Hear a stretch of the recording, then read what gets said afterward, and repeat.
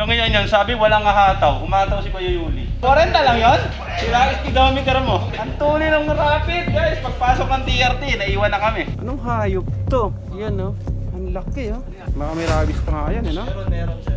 Ang laki, oh. Sariwa, hito. Sariwa, sariwa. Buhay na buhay. Nakuha. Ayun, oh, hito, oh. Wow. Eh, kuya, galingan mo, ah. Ganito ang mamingwit. Ganito mamingwit ng isda. Lagi ako iniiwan ng mga to eh. Ang tutulin magpatakbo.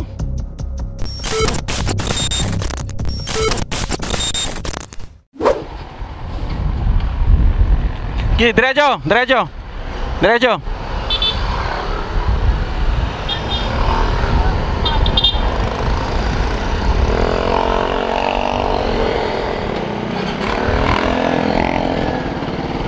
So ngayon guys, nandito tayo sa Doña Remedios Trinidad or kilala sa tawag na DRT.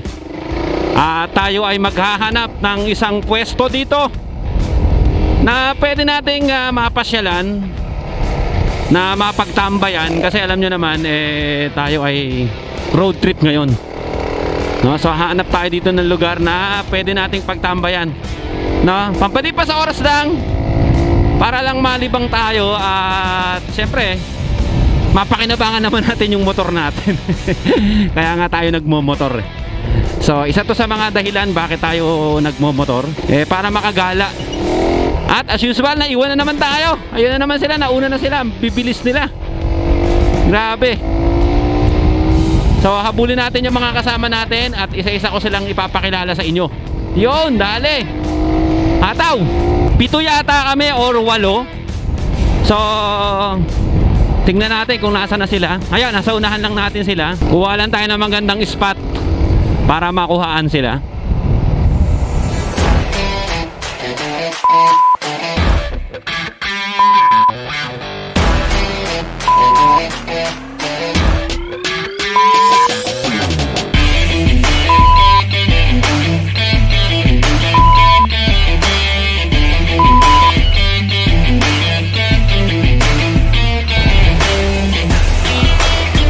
Yon, si JP, si Boss Teteng, si Kuya Nadine, si Kuya Raul, si Kuya si Kuya si Brian, si Kuya Boy, saka si Kuya Yuli.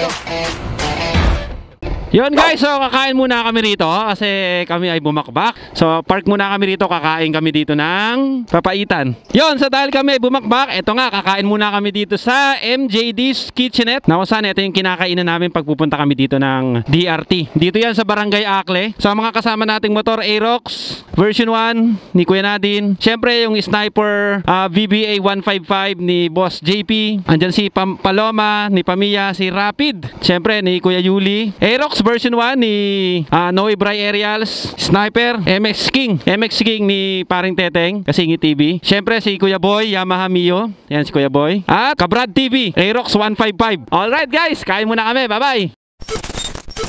Lungiyan yan, sabi walang ahataw. Humataw si Kuya Yuli. Hindi ko mahabol. ha? Nalalayo ko si Kuya Bing. Parang dala takbo ko eh. Tulen! 40 lang yon? Sira speedometer mo. Ang tuloy ng rapid, guys. Pagpasok ng TRT, naiwan na kami. Ayan, humataw, humataw. Ano, na ba, JP? Yan, so medyo nagmamadali na rin kasi kami tanghali na. 8.30 na kami umalis sa sa San Jose del Monte. Ngayon ay ano na, quarter to 10. Yeah, so quarter to 10. Kakain muna kami dito as usual. Alright. Yon, so kakatapos lang namin kumain dito. Ayun, shoutout kila ate. Dito yan sa Barangay Akle. Akle ba? Barangay Akle, dito yan. Ang pangalan ng ano niyo, te? Pangalan ng... MJ D's Kitchenette. Yan, so MJ D's Kitchenette. So pag nagawi kayo rito papuntang DRT, so syempre sadyain nyo to. Napakasarap ng mga pagkain nila dito. Ayan. Shoutout sa kanilang lahat. At syempre sa mga kasama natin, ayon. Busog na busog. Banal tayo, banal. Paunahin natin si Brian kasi siya yung map eh. Oo.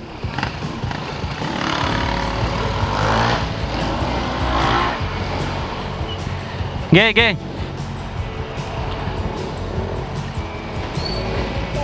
Ge, sige. Banal tayo, banal. Banal.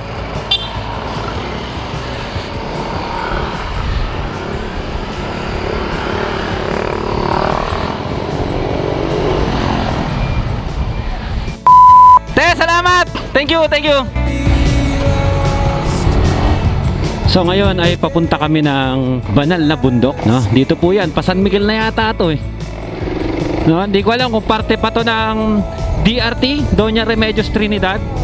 Pero parang papunta na to, papunta na 'to ng pero parang papunta na 'to ng San Miguel. San Miguel, Bulacan.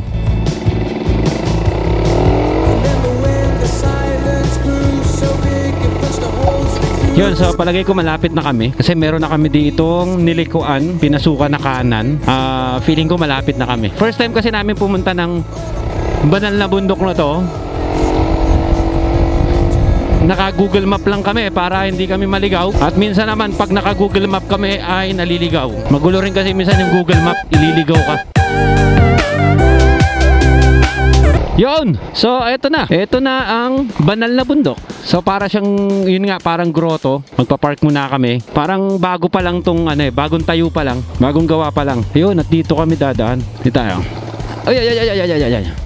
Yun, so finally, ito na nga, no, Chapel of the Black Nazarene. So, akitin natin yan mamaya. Tama, tama, tanghali, ang init. Ayan, so malapit lang naman to guys. Mula doon sa kinainan namin, siguro mga 10 minutes, 13 minutes. Ganun lang kaiksi. Ganun lang kalapit. Yon guys, so unang tapak. Yan. Unang hakbang sa hagdan ng banal na bundok. Woo! Again, unang himas. Ngayon lang, first time.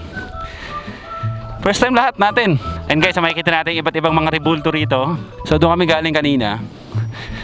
At et- it- ito yung pinaka-entrance. Yan.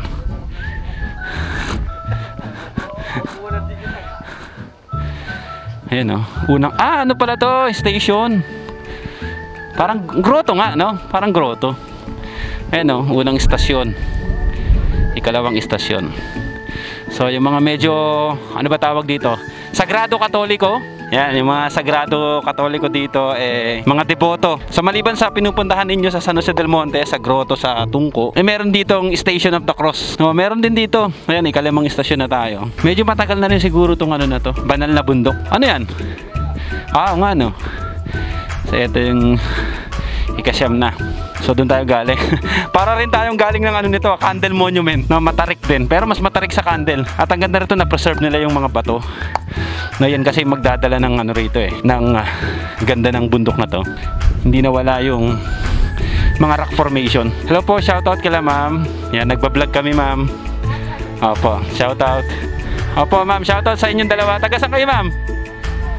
Baliwag! Kami sa San Jose del Monte. Shoutout sa inyo. Pangalan niyo ma'am? Arian! Potpot! Yan, shoutout sa inyong dalawa. Pamilya TV ma'am, huwag niyo kalimutan. Pamilya TV. Thank you! Ingat, ingat, ingat! Chapel of the Black Nazarene. So ang ganda dito guys, tinanong namin yung pinaka nagbabantay, libre. Ah, yung pala yung ginagawang simbahan, yung tinutukoy. Oo, yung kahabaan na yon. Grabe, laki no? Yan, so ito yung Black Nazarene. Yeah, sinasabi ko sa inyo kanina, libre dito, walang bayad. Pati parking lot, walang ba parking, walang bayad. Part na to ng San Miguel, San Miguel, Bulacan. So, tinawid namin yung kahabaan ng DRT, Doña Remedios Trinidad. At nakarating nga kami dito sa San Miguel, Bulacan. At ito na nga, nandito na kami sa Banal na Bundok. Yan, Banal na Bundok ang pangalan nito. So, medyo may kalumaan ng style niya kasi nga, eh, bihira na yung mga turista nagpupunta rito eh. So, hindi na nila ganong naasikaso. Siguro, Ayan, tulad niya, no? Makalat na, madumi na, masukal na. Siyempre, shoutout din natin si JP, si Boss JP. Ayan. Ano pangalan ng ano mo, sir? Skill at work, no? So, gumagawa siya ng mga cabinet, stainless cabinet, no? Mga aluminum, salamin, yon. So, kung may gusto kayong ipagawa sa kanya, eh, kontakin nyo lang. Lalagay ko yung uh, Facebook account ni Sir JP dito sa ating description. Yan. So, okay naman, okay naman ang biyahe natin dito. Oh, maliwalas, no? Yan. Maliwalas. Alright, lawak oh, taas oh. Subukan natin pasukan. Oo nga no. Parang ano na, nakalkal na. Ayan oh. Yung mga ano, santo. Pero may kuryente siya siguro. Wala rin. So first time namin dito guys. Kaya medyo so meron din dito. Ah parang ano to? Oo, parang may iribulto dito guys na nasa kabaong. Parang kabaong siya kuya natin ha. Ayan oh. Dito nagtitirik. Ay, ganda. Ay, ayun ba yun? Yung sa may pinakamalalim sa sa loob. Ang taas guys oh. Saka may parke doon oh. May parang ano doon oh. Parang resort kayo cottage. So may cottage doon oh. Tapos may Christmas tree din sila doon. Tapos ayun yung simbahan na sinasabi nila na ga- ginagawa. At yung daan yan ay mula doon papunta doon sa pinagparkehan namin. Yan guys, sa, sa dinami-dami ng pwede namin pagtambayan dito pa sa grotto. No, dito pa talaga sa grotto ng ah, San Miguel. May grotto naman kami sa San Jose. malaki pa. Mas malaki pa. Ano ba? Magagalit sa amin si Mayor. Ito yung binablog namin. Pero guys, kakaiba kasi rito eh. Ah, medyo uphill, mataas yung lugar. Kumpara sa grotto natin sa San Jose del Monte. Eh, nasa city na siya eh. Maaliwalas naman dito. Wala na kasi kami mapaglagyan ng gasolina namin. Natatapon lang sa bahay yung gasolina. So, ginamit na namin papuntang San Miguel. Papalipad na muna kami ng drone. Panoorin nyo, Noe Bray Aerial. So, makikita nyo yung shot namin doon. Yung drone shot. Papapanood din ni Mayor yan. Siyempre si Mayor mag, mag, ah, magko-comment doon. Mga linti kayo. Huwag yung bigyan ng ayuda. Ilista niyo yung mga pangalan ng mga yan na walang ayuda yan. Sabay ganun eh. Yan, shoutout syempre sa mayor natin. Mayor Arthur Robes. Saka sa kay ate kong. Ate Kong, syempre. Pero mas mataas dito yung candle no? Ay mataas. Mataas dito yung Mataas candle. din yung budget. Okay, ano yun eh. Kasi babaw na tayo nung ano na yun. Oo. Kita nga natin to eh. Yun, so papalipad na kami ng drone guys. Panoorin nyo ah, mga Ibray aerials. May moist pa rin yan. Ano na? Hangin no? Pero huwag mong katama sa ulo ha. Ngunit yan. Yun. Pero wala ka na. Ano kuya boy? Ito. Okay, hindi na ba? Tara, tara, tara, Jake. Sa taas. Sa taas oh. Medyo against the light tayo ah. So yun guys, oh, naka-drone tayo. Kuya Raul, Kuya Boy! Yun guys, may nakita kami rito ano eh, parang squirrel. Nakita ni ano ni Boss JP. So silipin lang namin, videohan namin kasi parang kakaiba yun. Wala naman kasi tayo dito noon eh sa Pilipinas. Napaka-rare. Meron man napaka-rare. Bihirang bihira. Dito yun eh. Oh. Parang dito. Nakatakas na nga. Dito sa sa kabila, di ba? Dito sa sa kabila eh. Uh, tiyempohan natin. Medyo maputik, madulas. Pero ano natin, tingnan natin. May naispatan kaming squirrel dito eh. Hindi lang kami sure kung squirrel. Ayun, ayun. Dito, dito gumalaw. Dito, dito. Ayun, ayun, ayun, ayun, Ayun, ayun, oh. sa taas. Squirrel nga. Oo, ayun, sa taas. Ayun, yun. Ayun, ayun, ayun. O, kita nyo, no? Gumagalaw? Ay, ayun. Tumawid. Tumawid, umakyat. Pinahirapan tayo. Galing, galing. Oh, Spiral nga. Squirrel. Oo. Ay, sa kabila, eh, sa kabila. Ayun, ayun, tumawid na. Ayun, oh, tumawid. Kita niyo gumagalaw na yan. Yan, yan. Ayun, yun, yun. Ayan, yan. Squirrel siya. Confirm. Ayun.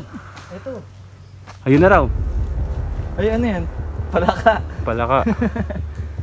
so, yun. Hindi naman namin siya binubulabog. Gusto lang namin siyang makita. Confirm talaga. I-confirm at ah, makita talaga ng aming mga naked eye.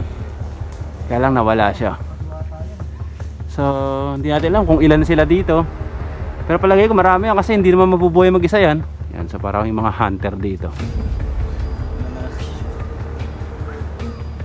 Disclaimer lang guys na wala kaming intention na bulabugin siya. Ayun! Medyo na ano lang kami na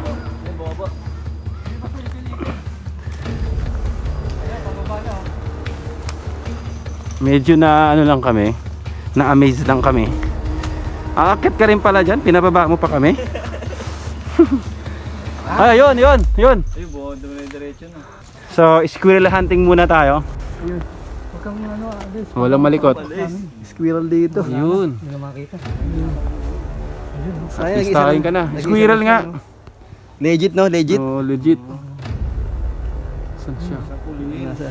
Hirap pulihin. Bibita. Ayun, gumagana. Ang hirap pulihin yan. Mahirap pulihin yan. Oh. Mabilis yan eh. Mahirap pulihin yan.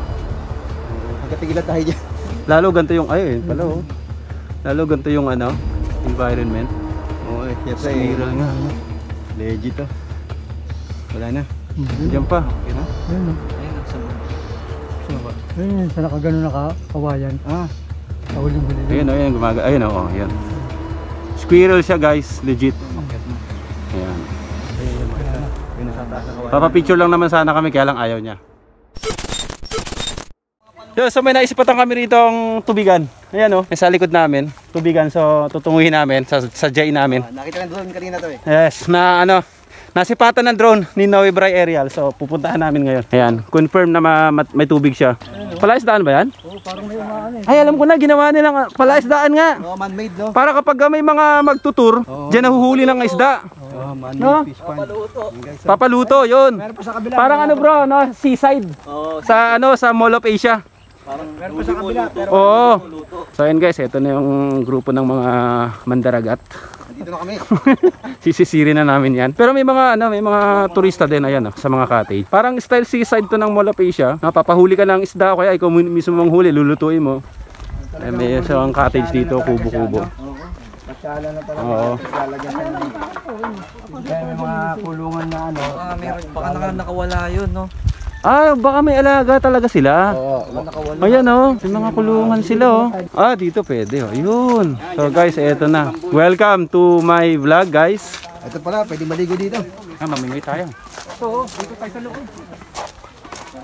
Open naman ata dito cellphone na malaglag. Malalim yan.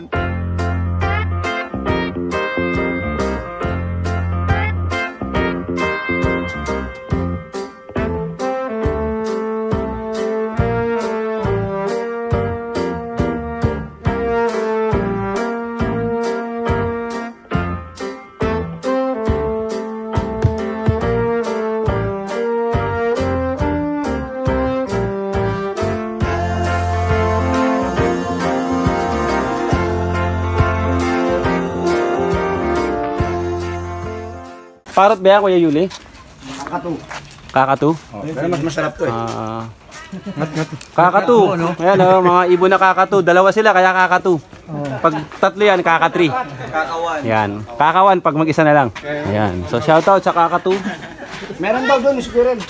Meron daw. Patingnan natin. Ginagawa pa to. Ayan. Marami pang pwedeng gawin dito guys. Yung mga tosang pa na nakaabang dito. Parang pinaka-drainage nila. Ito may fish pan din sila dito. Anong hayop to? Ang laki. Ano yan? Ano yan? Musang. Ay, parang musang. Hindi, yan yung ano eh. Tapang yan eh. Ang laki oh. Pusa. Hmm. Parang may edad na no? Yan oh. Hindi, yan yung pinapakita sa ano, yung lumalaban sa leon. Bulog na eh. Di ba? Sino? Yung malaki? Mas maliit. Tapang eh. Tapang yung malaki na. Oo, talaga yan. Pero parang mayroon akong nakikita inaalagaan niya. Ito yung ano to, no? Uy, yun. Kapang oh. Nag-aaway sila oh. Kasi may nakawala na ito dati sa amin sa kainta. Nakakagat talaga siya. Namatipin Pahalas yan. Parang pusa. Baka may rabies pa nga yan eh, no? Meron, meron siya. Mga bis yan. Tapang yan, mga ganyan. Lapitan na. Tingnan natin yung itsura niya.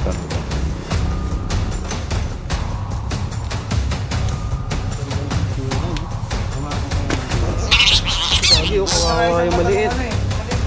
Kawawa yung maliit. Yan iwan. Pero anak niya siguro yan. Anak niya ba yan? Oo, iniwan sila. Inaaway, oh. Iniwan sila nung asawa niya. Sumama sa iba. Ano sa iba, ano, nagloko. Yun, so pauwi na kami mga kapamilya at malapit ng umulan. Ayan, medyo umaambon na kaya kailangan na naming lumisan. So tapos na ang aming paglalakbay, umaambon na. So uwi na hanggang sa muli. So uwi pa kami ng San Jose del Monte. Yan, so pauwi na nga kami. Galing kami dito sa bundok na to. Banal na bundok ng San Miguel, Bulacan. Salamat sa mga nakasama natin. So ngayon guys, kung hindi pa kayo nakasubscribe sa aking YouTube channel, huwag niyong kalilimutan. Siyempre, mag-subscribe na at i-hit ang notification bell para updated kayo sa lahat ng mga video na aming gagawin. So bye-bye sa ah, banal na bundok. Ayan, dito yan sa San Miguel, Bulacan. Ang sarap ng naging experience namin dito. So ang kagandahan kasi dito ay walang bayad, kahit parking, walang bayad, entrance, walang bayad. Yan, wala ring tour guide. So hindi natin kinakailangan ng tour guide dito. So sana hindi kami abutan ng ulan. So again guys, tulad ng lagi ko sinasabi, ride safe and God bless.